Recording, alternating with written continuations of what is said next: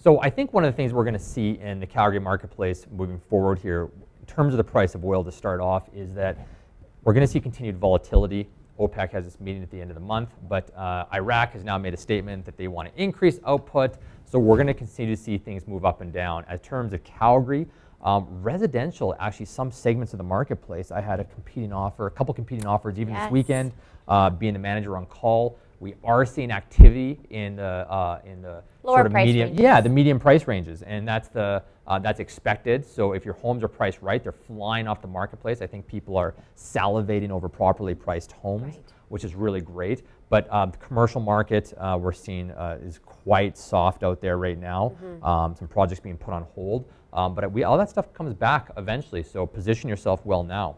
As far as the price of oil goes, keep in mind these were done on Friday. These stats, so um, 47.38 versus 48.55 last week. Um, so it's down slightly. It's continued to slide. It's almost down another dollar uh, this morning. I think it's down to like 85, 80 cents or so uh, since we looked at this last. So it is in the 46 range. As for the Canadian dollar, anytime the commodities moved, we see the Canadian dollar soften. It's down to 76.93 cents US, down from uh, about a dollar from 77.71 last week. Listings are up in both of our boards. In Metro Calgary, we are up 30 listings at 6,030 versus 6,000 last week. And in Red Deer, we're at 662 versus 647 last week.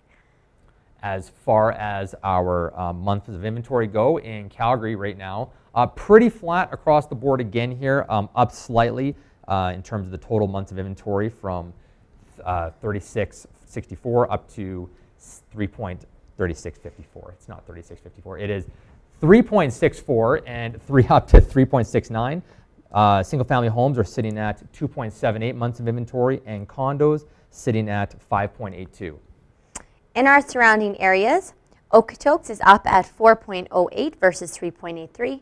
Airdrie up as well, 3.72. Cochrane, 5.94. Strathmore, 6.16. Sundre is 9.13.